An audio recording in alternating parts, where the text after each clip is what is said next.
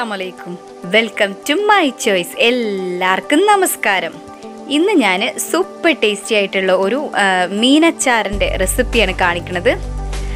അപ്പോൾ വീഡിയോയിലേക്ക് പോണതിന് മുമ്പ് ചാനൽ ഇതുവരെ സബ്സ്ക്രൈബ് ചെയ്യാത്തവരുണ്ടെങ്കിൽ ഒന്ന് സബ്സ്ക്രൈബ് ചെയ്യുക. കൂടാതെ തൊട്ടടുത്ത് കാണുന്ന ആ ബെല്ലൈക്കണും കൂടെ ഒന്ന് പ്രസ് ചെയ്യുക കേട്ടോ അപ്പോൾ എങ്ങനെയാണ് ടേസ്റ്റി ആയിട്ടുള്ള ഫിഷ് പിക്കിൾ റെഡിയാക്കുക എന്നുള്ളത് നമുക്കൊന്ന് നോക്കാം. വളരെ പെട്ടെന്ന് ഉണ്ടാക്കിയെടുക്കാൻ പറ്റിയൊരു അച്ചാറാണ് ഈ ഫിഷ് അച്ചാർ കേട്ടോ അപ്പോൾ ഞാനിപ്പോൾ ഇവിടെ അതിനായിട്ട് എടുത്തിട്ടുള്ളത് സൂതമീനാണ്. അപ്പോൾ ഏത് മീൻ വേണമെങ്കിലും സെലക്ട് ചെയ്യുക അതായത് കഷ്ണമീനായിട്ടുള്ള പേതലോ അങ്ങനെ നല്ല ഫ്ലഷ് ഉള്ള ഏത് മീൻ വേണമെങ്കിലും നമുക്ക് സെലക്ട് ചെയ്യാം. ഞാനിപ്പോൾ ഇവിടെ സൂതമീനാണ് എടുത്തിട്ടുള്ളത്. അര കിലോ ഉദ ഇതുപോലെ ചെറിയ പീസസ് ആയിട്ട് കട്ട് ചെയ്തിട്ട് കുറച്ച് ഉപ്പും കുറച്ച് മഞ്ഞൾപ്പൊടിയും കൂടെ തേച്ചിട്ട് ഒന്ന് നമുക്കിതൊന്ന് ഫ്രൈ ചെയ്തെടുക്കണം ആദ്യം. അച്ചാറുണ്ടാക്കാനായിട്ട് ആദ്യം ഇതൊന്ന് ഫ്രൈ ചെയ്തെടുക്കണം. അപ്പോൾ ഇതുപോലെ ചെറിയ പീസസ് ആയിട്ട് കട്ട് ചെയ്തിട്ട് ഉപ്പും മഞ്ഞൾപ്പൊടിയും കൂടെ ഒന്ന് തേച്ച് വെക്കുക. പിന്നെ എനിക്ക് വേണ്ടത് ഇഞ്ചി വേണം. ഇതാ അതുപോലെ ഒരു പീസ് ഇഞ്ചി ചെറുതായിട്ട് അരിഞ്ഞത്. പിന്നെ ഞാൻ മുളകിന് പച്ചമുളകിന് പകരം ഇവിടെ എടുത്തിട്ടുള്ളത് കാന്താരി മുളകാണ് കേട്ടോ ഫിഷ് അച്ചാറൊക്കെ ചെയ്യുന്ന സമയത്ത് ഫിഷോ ബീഫൊക്കെ അച്ചാറിടുന്ന സമയത്ത് ഏറ്റവും ടേസ്റ്റ് കാന്താരി മുളകാണ്. പച്ചമുളകിനേക്കാളും വേറൊരു ഒരു സ്പെഷ്യൽ ടേസ്റ്റാണ് കാന്താരി മുളക് ചേർത്താൽ പിന്നെ വേണ്ടത് വെളുത്തുള്ളി. ഞാനിപ്പോൾ അവിടെ ഒരു അഞ്ച് കുടം വെളുത്തുള്ളി ഇതുപോലെ തൊലി കളഞ്ഞ് ഇങ്ങനെ സെന്ററിൽ ഒന്ന് കട്ട് ചെയ്തെടുത്തിട്ടുണ്ട്. വെളുത്തുള്ളിയൊക്കെ ഓരോരുത്തരുടെ ഇഷ്ടത്തിനനുസരിച്ച് കൂട്ടും കുറയ്ക്കുകയൊക്കെ ചെയ്യാം കേട്ടോ. അതുപോലെ പിന്നെ വേണ്ടത് കറിവേപ്പില. പിന്നെ ഉലുവ വേണം. ഞാനിപ്പോൾ ഇവിടെ ഒന്നര ടീസ്പൂൺ ഉലുവ എടുത്തിട്ടുണ്ട്. അതുപോലെ തന്നെ പാകത്തിനുള്ള ഉപ്പ്. ഉപ്പ് നോക്കിയിട്ട് നമുക്ക് ആവശ്യാനുസരണം ചേർത്ത് കൊടുക്കണം. പിന്നെ അച്ചാർ പൊടി വേണം. ഞാനിപ്പോൾ ഇവിടെ അഞ്ച് ടേബിൾ സ്പൂൺ അച്ചാർ പൊടി എടുത്തിട്ടുണ്ട്. കൂടാതെ നല്ലെണ്ണ വേണം. അപ്പോൾ ഇത്രയും ഇൻഗ്രീഡിയൻസ് ആണ് ഈ ഒരു ഫിഷ് അച്ചാർ ഉണ്ടാക്കിയെടുക്കാൻ വേണ്ടിയിട്ട് നമുക്ക് അത്യാവശ്യമായിട്ട് വേണ്ടത്. പിന്നെ വേണ്ട ഒരു കാര്യം എന്ന് പറഞ്ഞാൽ സുർക്കയാണ്. ഇതാ സുർക്കവിന്റെ അളവ് ഞാനിപ്പോൾ പറയുന്നില്ല. കാരണം അത് ആ, ആ സമയത്ത് ചേർത്ത് കൊടുക്കുന്ന ആ സമയത്ത് ഞാൻ പറയാം കേട്ടോ. അപ്പോൾ നമുക്ക് എങ്ങനെയാണ് നോക്കാം അത് ഉണ്ടാക്കിയെടുക്കണം നോക്കാം. അതിനായിട്ടൊരു പാൻ വെച്ച് ചൂടാണ് സമയത്ത് അതിലേക്ക് ഞാൻ ആദ്യം ഒന്ന് കുറച്ച് ഓയിൽ ഒന്ന് ഒഴിച്ച് കൊടുക്കുന്നുണ്ട്. ഇത് ഫിഷ് ഫ്രൈ ചെയ്തെടുക്കാൻ വേണ്ടിയിട്ടാണ് കേട്ടോ. ഇതിപ്പോൾ നല്ലെണ്ണയിൽ ഫ്രൈ ചെയ്തെടുത്താലും മതി. അപ്പോൾ ഞാനിപ്പോൾ ഇവിടെ സൺഫ്ലവർ ഓയിലാണ് ഒന്ന് ഒഴിച്ചു കൊടുത്തിട്ടുള്ളത്. അപ്പോൾ അതിനാദ്യം ഫിഷ് ഒന്ന് ഫ്രൈ ചെയ്തെടുക്കണം. ഞാനിപ്പോൾ ഇവിടെ മഞ്ഞൾപ്പൊടി ഉപ്പും തേച്ച് വെച്ച ഫിഷ് ഇതുപോലെ ഒന്ന് പാനിൽ കിട്ടിട്ട് ഒന്ന് ഫ്രൈ ചെയ്തെടുക്കുന്നുണ്ട്. ചെറിയ പീസസ് ആയി കട്ട് ചെയ്തുകൊണ്ട് തന്നെ ഇത് പെട്ടെന്ന് ഫ്രൈ ആയിട്ട് കിട്ടും.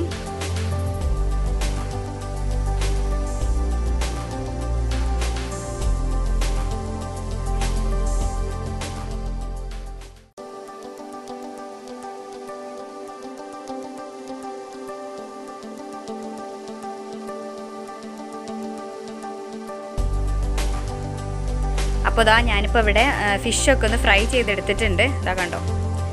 ഫിഷൊക്കെ ഫ്രൈ ചെയ്തെടുത്തിട്ടുണ്ട്. ഇനി നമുക്കിത് വെച്ചിട്ട് എങ്ങനെയാണ് അച്ചാർ ഉണ്ടാക്കിയെടുക്കുക നോക്കാം. അതിനായിട്ട് നമ്മൾ നേരത്തെ ഫിഷ് ഫ്രൈ ചെയ്ത ആ പാനിലുള്ള എണ്ണയ്ക്ക് കുറച്ചും കൂടെ നല്ലെണ്ണ ഒഴിച്ചു കൊടുത്തിട്ട് നല്ലെണ്ണ ഒഴിച്ചു കൊടുത്തിട്ട് ഉലുവ ആദ്യം ഒന്ന് ഇട്ടിട്ട് പൊട്ടിച്ചെടുക്കണം. അതിനായിട്ട് ഒന്നര ടീസ്പൂൺ ഉലുവയാണ് ഞാനിവിടെ എടുത്തിട്ടുള്ളത്. അത് ആദ്യം ഒന്ന് ഇട്ട് എടുത്തിട്ട് ഒന്ന് പൊട്ടിച്ചെടുക്കുക. ഉലുവ എന്ന് പൊട്ടി വന്നാൽ പിന്നെ ഇതിലേക്ക് ചേർത്ത് കൊടുക്കേണ്ടത് നമ്മളെടുത്ത് വെച്ച വെളുത്തുള്ളി. വെളുത്തുള്ളിന്റെയൊക്കെ അളവ് ഓരോരുത്തരുടെ ഇഷ്ടത്തിനനുസരിച്ച് കൂട്ടും കുറയ്ക്കുകയൊക്കെ ചെയ്യാം കേട്ടോ. അപ്പോൾ വെളുത്തുള്ളി ഒന്ന് ജസ്റ്റ് ഒന്ന് വളർന്ന് വന്നാൽ പിന്നെ നമ്മൾ ഇതിലേക്ക് ചേർത്ത് കൊടുക്കേണ്ടത് ഇഞ്ചിയാണ്. അപ്പോൾ അതിനായിട്ട് നമ്മൾ നേരത്തെ എടുത്തു വെച്ച ഒരു പീസ് ഇഞ്ചി ചെറുതായിട്ട് അരിഞ്ഞ ഇഞ്ചി ഒന്ന് ചേർത്ത് കൊടുത്തിട്ട് ഒന്ന് വഴറ്റി കൊടുക്കുക. അപ്പോൾ അതും കൂടെ ചേർത്തിട്ട് ഒന്ന് ജസ്റ്റ് ഒന്ന് വഴറ്റിയെടുത്താൽ പിന്നെ നമ്മൾ ചേർത്ത് കൊടുക്കേണ്ടത് കാന്താരിമുളകും കറിവേപ്പിലയാണ്. അപ്പോൾ അതും കൂടെ ചേർത്ത് കൊടുത്തിട്ട് നന്നായിട്ടൊന്ന് വഴറ്റിയെടുക്കണം. അപ്പോൾ ഈ സമയത്തൊക്കെ തീ ഫുൾ ഫ്ലെയിമിലാക്കിയിട്ട് വേണം ഇതൊക്കെ ചേർത്ത് കൊടുത്തിട്ട് വഴറ്റിയെടുക്കാൻ കേട്ടോ അപ്പോൾ ഇതൊക്കെ നന്നായിട്ടൊന്ന് വഴന്ന് വന്നാൽ ശേഷം തീ കുറച്ചിട്ടിട്ട് ലോ ഫ്ലെയിമിലാക്കിയിട്ട് വേണം പിന്നെ നമ്മൾ പൗഡറുകൾ ചേർത്ത് കൊടുക്കാൻ അപ്പോൾ ഞാനിപ്പോൾ ഇവിടെ അഞ്ച് ടേബിൾ സ്പൂൺ അച്ചാർപ്പൊടി ഒന്ന് ചേർത്ത് കൊടുക്കുന്നുണ്ട്.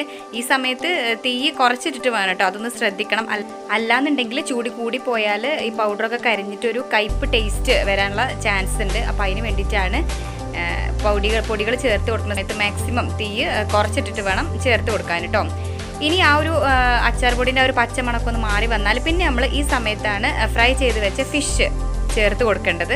അപ്പോൾ ഫിഷും കൂടെ ചേർത്ത് കൊടുത്തിട്ട് നന്നായിട്ടൊന്ന് മിക്സ് ചെയ്തെടുക്കണം. അപ്പോൾ ഞാനിപ്പോൾ നന്നായിട്ടൊന്ന് മിക്സ് ചെയ്തെടുക്കുന്നുണ്ട്. ഇനി ഈ സമയത്താണ് ഉപ്പ് ചേർത്ത് കൊടുക്കേണ്ടത് കേട്ടോ ഉപ്പ് ഇതുവരെ ചേർത്ത് കൊടുത്തിട്ടില്ല. അപ്പോൾ ഇപ്പോൾ കുറച്ച് ഉപ്പൊന്ന് ചേർത്ത് കൊടുത്ത് നോക്കുക. പിന്നെ വിനാഗിരി സുർക്കൊഴിച്ചതിന് ശേഷം ഉപ്പ് വേണമെന്നുണ്ടെങ്കിൽ ആ സമയത്തും കൂടെ ചേർത്ത് കൊടുക്കണം കേട്ടോ. അപ്പോൾ ഞാനിപ്പോൾ ഇവിടെ ഉപ്പും കൂടെ ചേർത്ത് കൊടുത്തിട്ടുണ്ട്. ഇനി ഇത് ഒന്നുകൂടെ നന്നായിട്ടൊന്ന് മിക്സ് ചെയ്തെടുക്കണം. അപ്പോൾ ഇതാ ഇതൊക്കെ ഇവിടെ നന്നായിട്ടൊന്ന് മിക്സ് ചെയ്തെടുത്തിട്ടുണ്ട് കേട്ടോ. ഇനി തീ ഓഫ് ചെയ്ത ശേഷം വിനാഗിരി ചേർത്ത് കൊടുക്കണം. തീ ഓഫ് ചെയ്തിട്ട് മാത്രമേ വിനാഗിരി ചേർത്ത് കൊടുക്കാൻ പാടുള്ളൂ കേട്ടോ. അപ്പോൾ വിനാഗിരിന്റെ അളവ് എന്ന് പറയുന്നത് ഫിഷിന്റെ മുകളിൽ ആ മീനിന്റെ മുകളിൽ ഇങ്ങനെ പൊങ്ങി നിൽക്കണം ആ ഒരു പരുവത്തിന് വേണം വിനാഗിരി ഒഴിച്ചു കൊടുക്കാൻ ഇതാ കണ്ടോ?